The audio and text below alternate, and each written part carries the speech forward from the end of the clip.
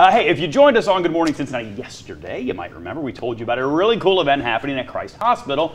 Adam's back with us to tell us how that all went. the faces, right? The faces. It was so cool. Yeah. It was funny, but it was awesome. I mean, this story just really fascinates me. A live stream of a pretty complex surgery, several dozen young and ambitious kids watching the whole thing, all with the purpose of learning and preparing for their futures. It's my dream to someday be like in the medical field with like hearts and stuff. So I it's really amazing to me. You can call it the ultimate job shadow program. Today are going to be doing an open heart surgery, um, which is called a cardiopulmonary bypass surgery, where we are going to bypass uh, some blockages in the coronary arteries. Close to 200 students from area high schools get to see it all, thanks to Christ Hospital's biannual live surgery event. It's part of the hospital's partnership with the Christ College of Nursing. It's just amazing to see because you watch it on TV, but this is like you're watching it on a screen, but it's actually someone there.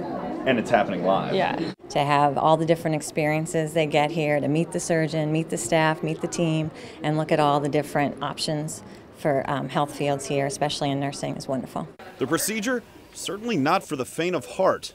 The look on the faces of these surgically minded students pretty much says it all. The thought of having someone do a heart surgery on someone, it's just amazing. Like they know all the information about it and I'm just like it's just mind blowing to me.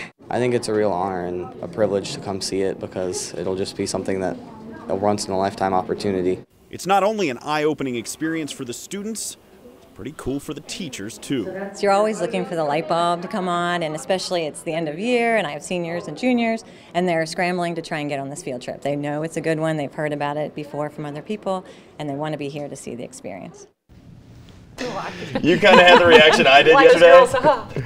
Girls, huh? Yeah, Eric- you had to leave for a minute, right? Yeah. Uh, Sorry, should I, said, have not told No, them? I said, Eric, I, I can't, I can't watch. And he's like, look, look at that. And I'm like, I don't think I can. I gotta, I gotta take a walk. Uh, but to see how invested they were in, in, they were, they were watching in amazement, and nobody. Yeah. looked like they were squeamish or grossed out. It was like, wow, this is so cool. I can't believe I'm watching Wow. this. Right. Um, another cool part about it is it was live streamed to about, I, I think it was 10 high schools. Yeah. Oh, so they got to watch. Those that couldn't make it got to watch it in their own classrooms. That's great that Christ Hospital does that. yeah, they do it twice a year. Yeah. Yeah, and, and I, we have to check up on that patient to make Yeah, sure. I think we should. Yeah, yeah. I mean, really, what a, what a great program. What a great experience for those kids. Absolutely.